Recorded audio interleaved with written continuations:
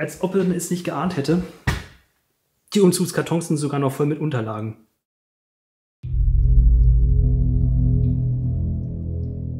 Bei so manchem Lost Place kann man einfach nur ratlos mit dem Kopf schütteln. Hier beispielsweise scheint jemand ausgezogen zu sein und hat quasi die Hälfte seines Haushalts einfach zurückgelassen.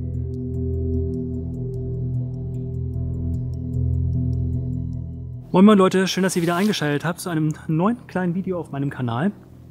Ich bin zusammen mit der Jessie unterwegs und dem Meister und äh, wir haben hier tatsächlich jetzt gerade zwei relativ große Häuser. Eins hier und ein noch größeres da. Wir sind uns da noch nicht so ganz sicher. Es sieht ziemlich, ziemlich verfallsmäßig aus, äh, einsturzgefährdet. Aber ich würde sagen, wir gucken uns das mal gemeinsam an. Also, viel Spaß mit dem Video. Ja, und dann würde ich sagen, auf los geht's los. Äh, wie immer an Ort und Stelle. Einmal ganz kurz zur Übersicht. Ein Fachwerkhaus oder ein Haus mit Fachwerk links und ein ziemlich massiv gemauertes und sehr alt wirkendes auf der rechten Seite.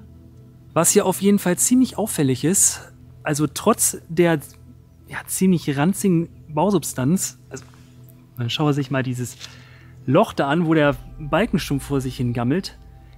Der äh, Stromanschluss hier oben. Ich weiß nicht, ob man das mit dem Weitwinkel überhaupt sehen kann. Der Stromanschluss sieht ziemlich neu aus. Also er sieht alles andere aus als ja, verfallen, wenn man so möchte. Also das ist auf jeden Fall schon mal ziemlich kurios. Ich weiß nicht, haben die das da angebracht und haben sich dann vielleicht sogar darüber gewundert, warum die halbe Wand da schon offen steht. Und hier ist eine Tür offen tatsächlich schon für uns. Ist ja praktisch. Oh, du meine Güte, wie sieht denn... Wie musig ist denn dieser, dieser Treppenaufgang? Also das mit dem Balken ist anscheinend nicht das einzige Ding, was hier schon ein bisschen modert. Uiuiuiui. Ui, ui, ui.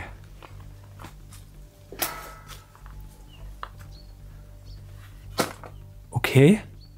Ach du liebe Güte. Also das ist auf jeden Fall schon mal ein, ein sehr, sehr bedenklicher Empfang hier in dem Haus. Diese Treppe hier, die sackt schon in sich zusammen. Leute, Leute, ich sage es euch, dieses ganze Haus hier, das ist schon mal ein, ein ganz schlechtes Omen. Ähm, guckt euch mal diesen, ja, dieses Fenster, dieses Fensterdingsbums an. Da vorne ist es noch in Ordnung und hier rausgebrochen, weil die ganze Wand, die ganze Wand löst sich hier auf. Und wenn ich euch mal an der Treppe vorbeischwenke und kann man das da vorne sehen? Also natürlich kann man das sehen, allein schon hier vorne, äh, direkt nach der Schwelle. Die ganzen Böden sind wellig. Das ganze Haus ist extrem einsturzgefährdet. Auch hier auf der anderen Seite. Nein, nein, nein, nein, das ist keine gute Idee. Gar keine gute Idee. Ist es euch aufgefallen, als ich euch diese Treppe gezeigt habe? Mir ist es auf jeden Fall aufgefallen. Da achte ich auf jeden Fall als erstes immer drauf. Da ein Kellerfenster. Das Haus hat einen Keller.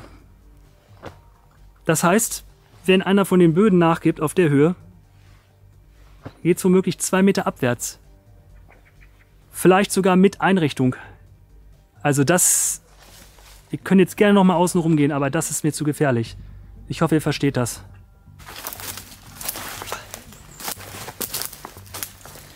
Irgendjemand hat hier auch schon mal Holz geschnitten. Das war auch schon lange Zeit her. Ich halte euch einfach mal ganz hoch. Vielleicht kann man da was durchs Fenster sehen. Ich bin mir nicht sicher. Es sieht alles grün aus. Und das, was mir jetzt gerade aufgefallen ist, ich weiß nicht, kommt mir das rüber? Das Haus. Das Haus wälzt sich und biegt sich in eine Seite. Da vorne. Es ist eingedrückt. Ich glaube, jetzt sieht man das hier. Zum Dach oben geht es wieder nach außen. Also das ist auf jeden Fall nichts, was man in irgendeiner Weise unterschätzen sollte. Gucken wir mal auf der anderen Seite. Hier geht es irgendwie durch. Okay, hier wäre irgendwie so eine Art, weiß ich nicht, Innenhof oder sowas.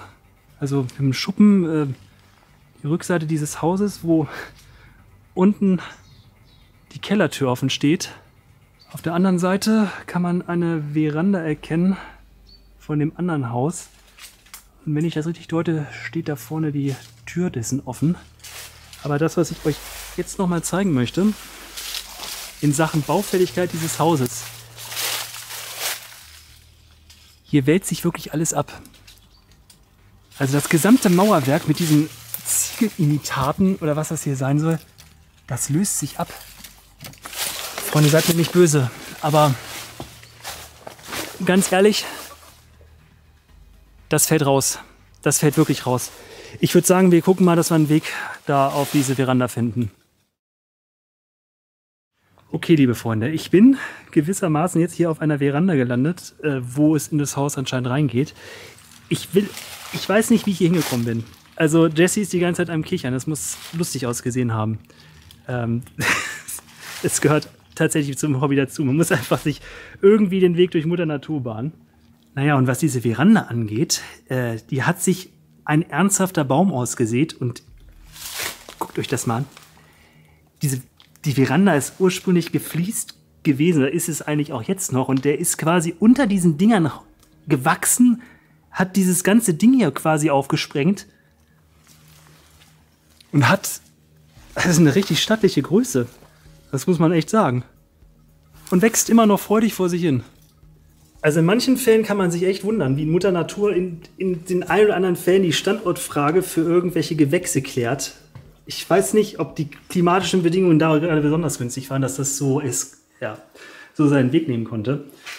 Aber das nur am Rande. Jetzt haben wir hier das erste Räumchen von diesem Gebäude.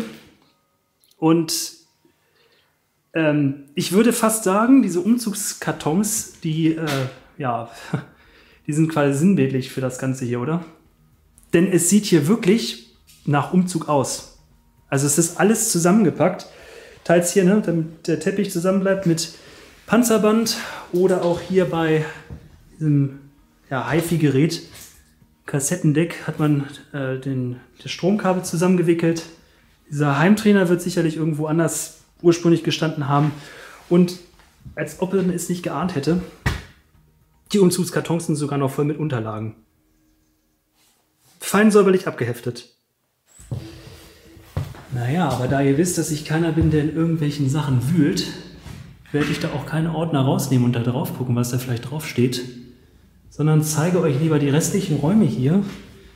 Und ich fürchte, das wird eine ziemlich schnelle Nummer sein, weil die alle leer sind. Aus, was hat sich denn hier für eine Kolonie angesiedelt? Sind das Spinnen? Äh, ja, es sind unter anderem auch Spinnen, aber im Grunde genommen, das, das sind, wie viele Spezies sind das hier? Ähm, Spinnen, klar, Fliegen, größere Fliegen, Stubenfliegen. Das hier könnte eine Wespe oder eine Hummel sein oder irgendwas. Da oben sitzt auch noch eine Spinne, die ziemlich lebhaft noch aussieht. Zwischendurch haben wir hier noch ein bisschen was, was aussieht wie. Sind das Eier oder ist das Vogelkot? Es ist ein halber, ein halber Zoo. Also war es mal. Es war mal ein halber Zoo.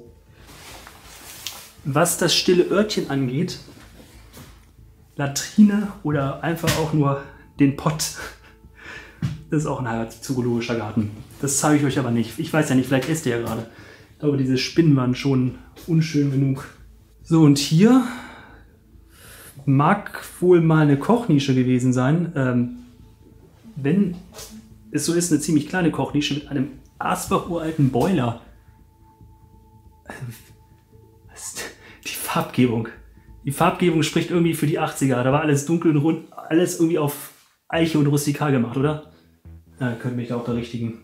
Wobei, so schlecht oder so weit lag ich davon wahrscheinlich gar nicht entfernt. Guck mal hier. Hier sind Schränke. Achso, übrigens hier, äh, Lattenrost und Bett. Aber das nur nebenbei. Diese Schränke hier das haben auch ein ziemlich dunkles Holz, dunkle Farbe. Und bewacht werden sie von einem Transformer oder was? Also der steht wirklich da wie bestellt und nicht abgeholt. Und nicht abgeholt ist bestimmt, also das, das wird so gewesen sein. Guckt mal, der Schrank hier hat auch dieses Panzerband, steht an einer Tür zum Abtransport. Genauso wie das hier, was wahrscheinlich aus der Küche kommt. Ein Küchenmöbel. Habe ich so bestimmt schon mal gesehen. Zwar nicht in dieser blauen Optik, was ganz verrückt ist, aber ja, ist jetzt nichts Besonderes. Und das ganze Thema setzt sich auch noch bis in die letzte Nische und Ritze fort. Auch hier. Alles Umzugskartons, die nicht abgeholt wurden. Das hier ist auch seltsam. Ein riesiger Schlüsselkasten. Also gemessen für dieses Haus mit diesen, was mag das hier sein, 5, 6 Zimmer oder sowas. Das sind bestimmt 20, 30 Schlüssel oder sowas. Nummer 8b. Keller. Hier etwas, was fast aussieht wie so ein Ding aus dem Schwimmbad. Zusammen mit einem Bund von ganz alten Schlüssel. Hier unten steht Studio drauf. Weiß ich nicht. Auch die, auch die Art und Weise, wie das da steht, das Ding würde ja normalerweise wahrscheinlich an der Wand hängen. Jetzt steht es hier einfach auf so einem Nachtspeicherofen. Ganz seltsam. Liebe Leute, was soll ich euch sagen? Wir sind am Ende der Erkundung.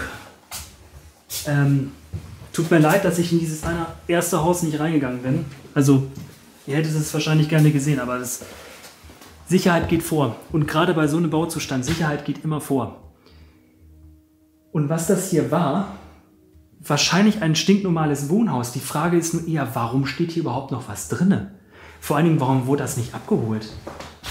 Und die nächste Sache ist, jetzt könnte man irgendwie sagen, das war vielleicht das Haus der Oma, das, äh, was, was mit dem Erbstreit und so weiter, ne, die nicht leergeräumt wurde und deswegen blieb alles so, wie es ist. Aber so alt sieht das hier alles gar nicht aus. Also die ganzen Schränke und Möbel und so weiter, Klar, dieses Ding hier im Wohnzimmer und auch der Küchenschrank, der war sicherlich alt, aber das können auch Antiquitäten sein. Sowas wie dieses, dieses, ja, diese Sitzgelegenheit und diese Teppiche und sowas. Das hätte, also das könnte anders aussehen, man weiß es ja nicht genau. Was ist eure Meinung? Wie kann es sein, dass einfach alles zurückgelassen wird in Umzugskartons? Hat man es einfach vergessen? Kurios. Ich hoffe, euch hat das Video gefallen. Schaut gerne beim Meister und der Jessie vorbei. Äh, und wir sehen uns äh, beim nächsten Lost Base Abenteuer wieder. Bis dann. Ciao.